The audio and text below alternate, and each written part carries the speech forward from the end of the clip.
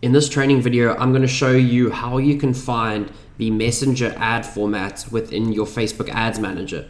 So you log into your Ads Manager, you click on Create Ad, which is in the top right hand corner, and you go to send people to a destination on or off Facebook. Now, this is a necessary step. This is the only marketing objective that you should use when setting up messenger campaigns. So click on this, name your campaign. So I'm going to name it ClickMSG demo, continue.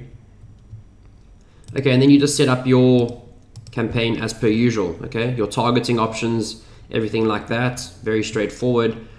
Then you click on edit placements and you remove audience network and Instagram because this is a Facebook uh, messaging software. So you also remove instant articles and right column so obviously only work in the Facebook feed. So make sure you remove these options.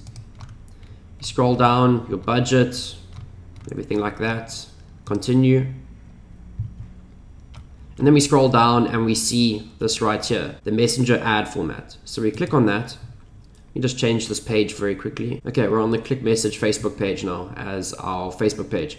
So what you want to do is click on here and you have the option to send normal message text, which is obviously the old way of doing it without ClickMSG. Now this is just normal text. It'll say something like, hey, this is name, thanks for clicking on my ad. Quite boring, right? So this is something the user is quite used to as opposed to the new structured messages we're going to be using with ClickMSG.